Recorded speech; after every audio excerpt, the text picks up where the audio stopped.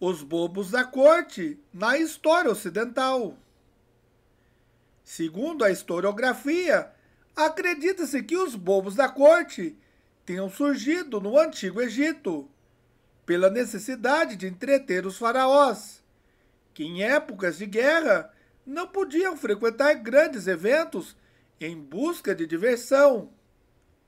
Então, o entretenimento ficava por conta dessa figura.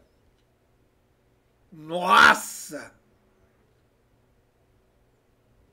Mais tarde, o Império Romano absorve o personagem e lhe dá o nome de Balastro.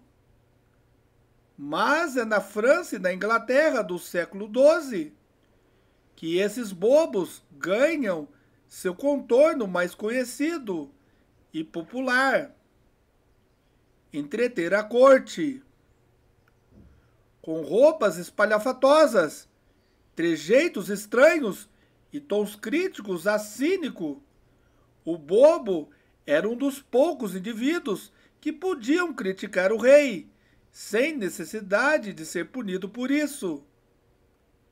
Durante muitos anos, essa função existiu nos países europeus e a cultura pop deu ares populares ao personagem através de filmes, músicas, fantasias e muita, muita tiração de sarro. Com uma imagem marcada pela loucura e imbecilidade. Esse personagem se eternizou ao longo da história. Nossa!